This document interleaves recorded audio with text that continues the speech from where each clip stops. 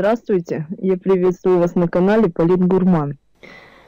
Бывший министр экономического развития России Алексей Улюкаев заявил журналистам после заседания Замоскворецкого суда Москвы, что за время нахождения под домашним арестом похудел на 14 килограммов.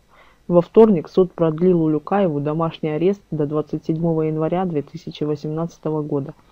Также суд назначил на 16 августа начало рассмотрения дела экс-министра по существу – Дело будет рассмотрено в открытом режиме. Я похудел на 14 килограммов, спасибо за это нашему правосудию, отметил Люкаев, садясь в машину ПСИН, которая должна доставить его домой. Я уже говорю, не дождутся, похудел на 14 килограмм. Большое спасибо нашему правосудию за это. Улюкаева обвиняют в получении взятки в 2 миллиона долларов. Экс-министр не признает вину, ему грозит до 15 лет заключения. Улюкаев стал первым в современной России федеральным министром, задержанным за коррупцию.